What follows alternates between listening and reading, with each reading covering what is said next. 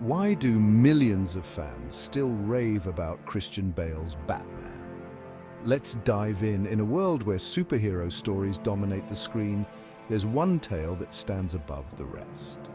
Christopher Nolan's Dark Knight trilogy, and the man behind the mask, Christian Bale. Imagine this. The Dark Knight 4, um, Bale donning the cape once more under the guidance of Nolan's visionary direction. It's a concept that's setting the internet ablaze. The iconic trilogy, spanning from 2005 to 2012, redefined the superhero genre. With its gritty realism and complex characters, it left an indelible mark on cinema. Now, fans are yearning for more, though. Screen Culture's concept trailer teases a tantalizing return. Picture it Gotham in chaos, a new threat emerging, and Bale's Batman rising from the shadows.